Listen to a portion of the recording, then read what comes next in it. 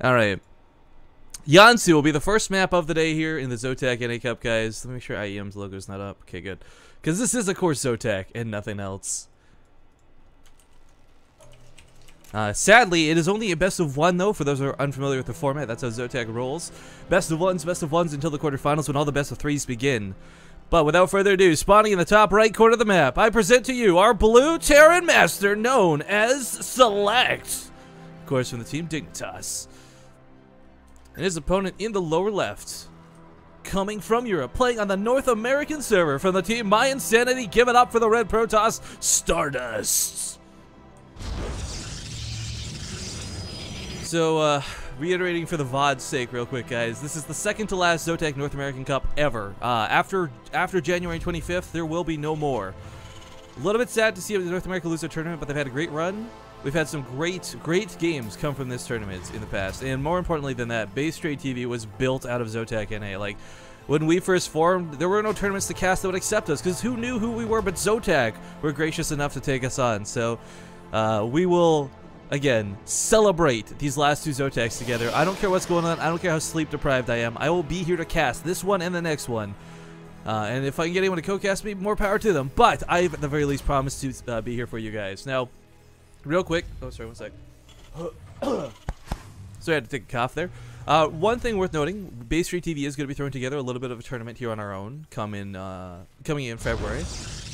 The participant list from that will be taken directly from the signups of both this Zotac and the next Zotac. So basically, if you guys want a chance at $150 or possibly more, no promises, keep it a secret, then uh, sign up for the next Zotac Cup for a chance to compete. But for now, we got a lot of really good players today, and I hope someone's updated the bracket list in chat. Love you very much if you did. But this is a match that, uh, like, I was kind of joking, but this is really like an IEM Stage 2 qualifier level match. Like match. It kind of sucks that this is only a best of one. This really deserves to be a best of three, but, you know, there's so many good players playing today. Uh, some of them are unfortunately going to have to get knocked out early. Small shout out nod goes towards like, you know, Arthur, Suppy, Sage, most of Axiom. Like we got a lot of great signups and a lot of good players for a very entertaining series to be played out today. And uh, of course, as always, there's a hundred bucks US dollars up for grabs, winner take all, because that's how Zotac rolls. Select trying to keep this SCV around to see if Stargate comes down here, something quite silly, but uh, for now, Stardust is uh, just actually trying to hide the expansion he wants to take. Probe hiding down here so the SCV doesn't go kill or block it. Reaper on the way, gonna be great for scouting. I don't know, Stardust is like the one Protoss 2 player who currently lives in Europe that doesn't play like he's from Europe. Like, oh, oh, Select. Okay, so what I'm hoping he does here, I was kind of I was kind of curious with the SCV coming back here. Scouting out where Stardust has things down. He knows there's some dead space both up here and up here because he's he has seen the entire base of Stardust. What he may do is lift the factory, put it on this ledge, produce widow mines, and try and be a bit of a nuisance. Typically, you do this like in a rush fashion, and you don't get this Reaper out. So for Stardust, there's no reason for him to suspect this is coming at all. This is, for all intents and purposes, your regular opener for a PvP. Uh, Select's even taking an expansion behind this. I love this. This is great. The factory oftentimes just ends up floating around the map anyways and being used to no avail. Sometimes players will make widow mines defensively if there's like an all incoming, or you know, you make a siege tank if you got to defend against Blink. But because Select knows it's neither of those, he can safely put the factory over here and oh, gonna get gum jobs, guys. I'm really excited about this because Stardust already scouted up here to see if anything was coming. He saw nothing, so he might think it's safe. But oh no, the pylon Select! Oh, this is frustrating. So basically what can happen, you can still pump out Widow Mine. He should be able to get two out. Like, even if there weren't Reapers here to distract everything, he should still be able to get two Widow Mines out bare minimum, lift off and go away after if he needs to.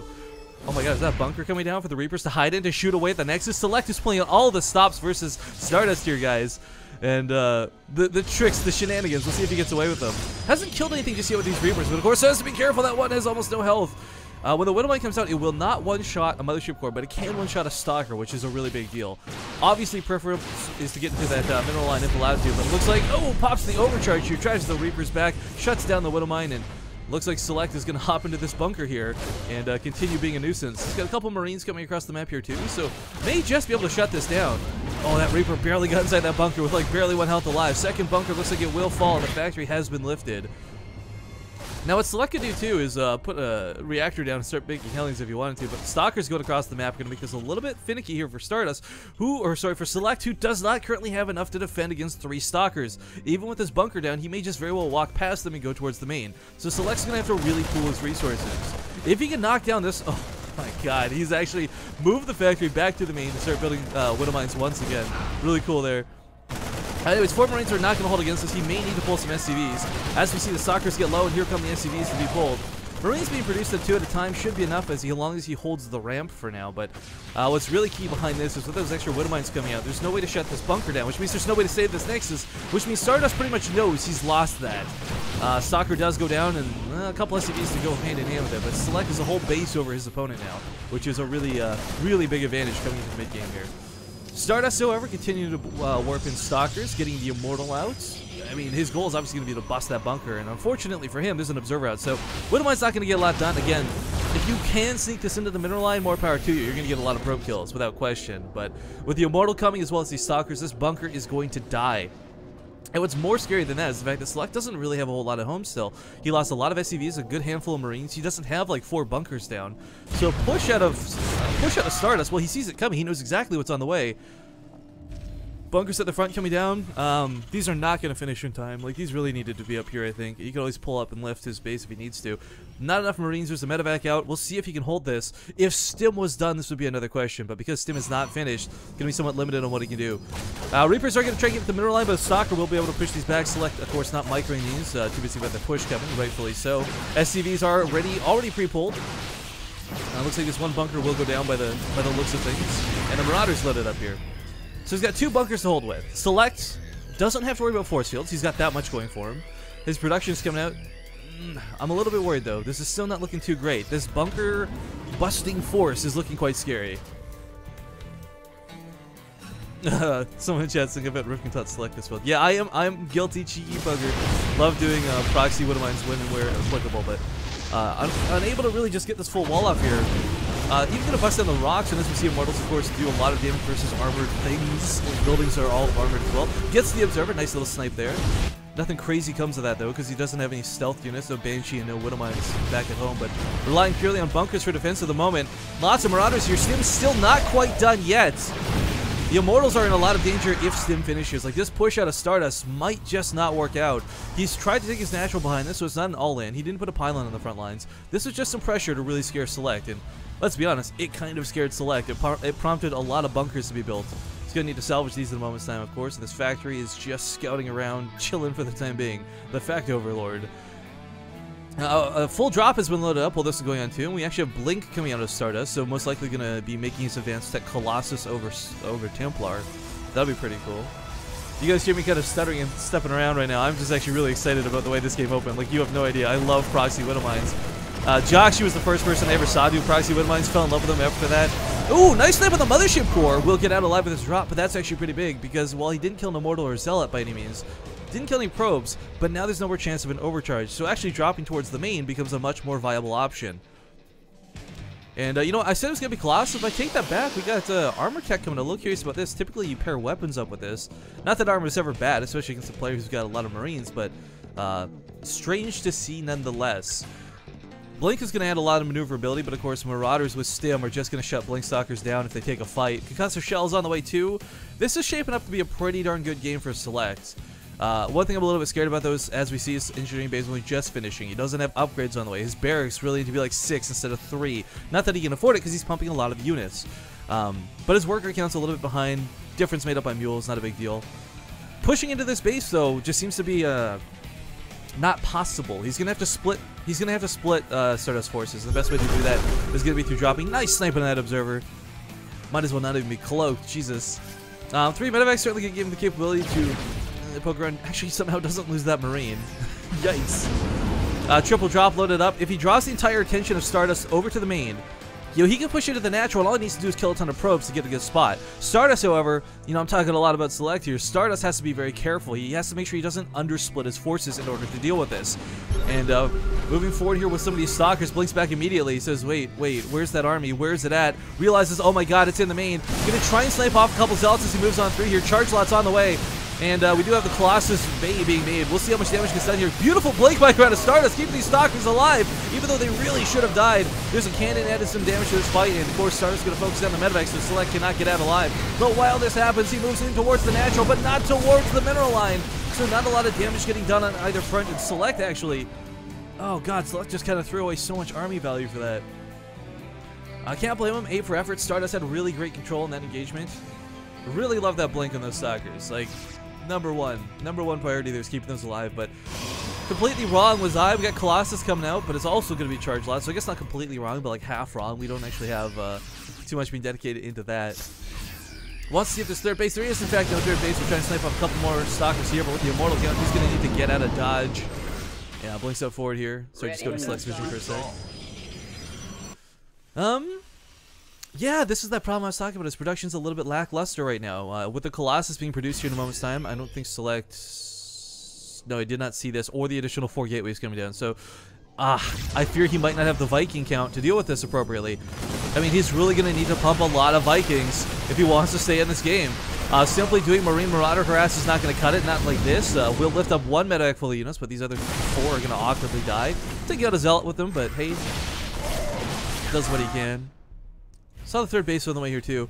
Back at home though, we look at the army supply of Select. It's not exactly through the roof, but neither is Stardust. Like, Stardust's army composition is just really strong for how, how low this unit count is, and that's what's keeping Select from getting a lot of damage done, a lot of harass done. Uh, first Colossus does get produced, and of course no Thermal Lance just yet, but it should be done by the time the next engagement happens. Um, uh, yeah, Select's upgrades still lacking a little bit here on 1, coming up on level 1 armor upgrades as well. No double engineering bay. Trying to compete with level 2 armor upgrades is going to be a bit of a task, to say the least. There's so many zealots available. No Ghost Academy in sight, so will you see this observer select? Has uh, seen almost every observer this game except for these two, but okay, it's still fine. This drop looks like it wants to elevator up if it can, but the army is of course here and waiting. Select pushing towards the south, may be able to just try and catch his opponent off guard. You know, draw the attention of Stardust, keep him focused here on the third, and then push into the natural with a really big force. Oh, doesn't get the pylon! Oh, that's heartbreaking! Meanwhile, Select says, alright, let's try and do what we can, charge towards the natural. There's not enough Marauders here to focus down, unfortunately. Because typically that's what you'd love to do, just snipe off the Nexus, but instead finds himself in a very awkward spot, sees the Immortal, sees the Colossus, and stims right back out of there. Uh, Zelda the Watchtower, of course, saw this coming, so unfortunately for Select did not quite get the cheeky bugger effect of sneaking in behind uh, Stardust's back. Drop here to the... Oh god, Marauder's dying in such a gruesome way, Jesus. Uh, so then you get sliced and diced, literally. Vikings on the way, but he's not got that second starport. It's just one, and again, I harken back to the fact that Select might just not have the production to deal with this right now. A little bit worried, a little bit concerned. Small run by here towards the third will be shut down by the army, meeting it right away. You know, it's interesting. You take a look at the workers lost so far this game, guys. Realistically, for both players, it hasn't exactly been anything too insane. Uh, most of the SCVs that were killed early on were the ones that were pulled against this uh, little push earlier on. So, a very, very um, how do I phrase this? A, a quick defensive game, I guess. Uh, just quick to defend the probes, quick to react to pushes, to drops. No one really getting caught too off guard. Select sees this giant army at his doorstep, though, beckoning in, and this is where it gets a little bit scary, because again, there's only two Vikings here. The Colossus do have extended thermal lance. The Stardust could push with a great force. Dealing with this is not going to be easy. There's so much area of effect that Select's going to have to worry about. If he fights near a ramp, he might just walk into a choke. Saw the Observer, should be able to scan it again to snipe it. Uh, but with the Blink Stalkers, it's going to be nearly impossible to keep these uh, these Vikings alive or safe, for that matter. Loses one immediately. Drop towards the third. We'll find, a double drop towards the third. We'll find a lot of probes to be killed. This is going to drop back a Colossus and even a full recall here out of Stardust. Which is actually really good for Select, because now you can take a breather and be like, okay, that army is not pushing into my natural. I've got time to get more Vikings up. And quite frankly, that's what he's trying to do. Second starport was made with a reactor, so he's got four Vikings coming out at a time. Uh, this is like a little bit concerning though, still. Um, the Blink Stalker count's really high. Like, typically, you know, as a champion player, you'd love to whittle down the Stalkers, spoke at him with the Marauders, but Stardust has been so good with his Blink micro, he hasn't really allowed Select to pick much off. Still checking for observers, and we finally have a Templar transition coming out here. Psionic Storm on the way. So two layers of AoE going to be difficult to deal with. No ghosts in sight for Select, but he's trying to get that Ghost Academy up so he'll be able to make them. And uh, I've been talking nonstop. Give me one sec here, just drink some water, guys.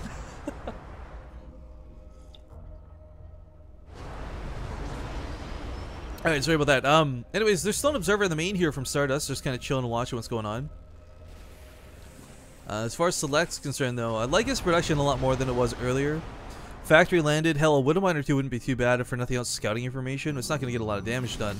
This medevac will get feedback. Oh my god, with 5 health, it barely lives. Select Almost getting caught off guard by that. Would have been really disheartening to see that go down.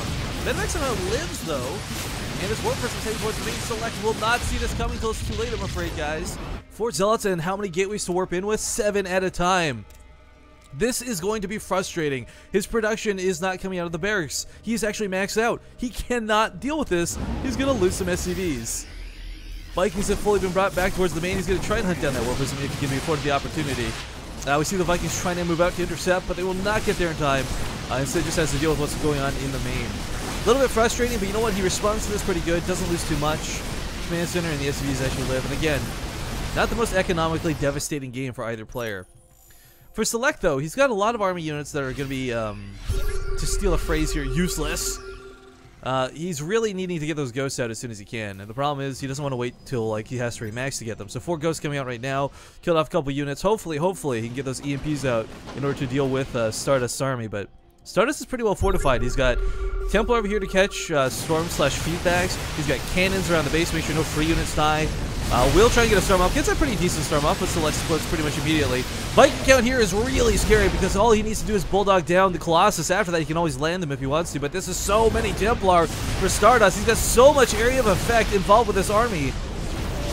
Templar Storm's obviously going to try and hit those Vikings as they do clump up, but there's, again, so many Templar. This is looking a little bit scary for Select, guys. Storm's blanketing everything, and he's not even out of Storms just yet. He's going to lose so much here on the front lines. These Marauders, these Marines all going down for nothing, for naught. They will die behind the mineral line. Zealot's actually walking into his own Storm, but Stardust says, you know what, whatever, I'm okay, I'm okay with that.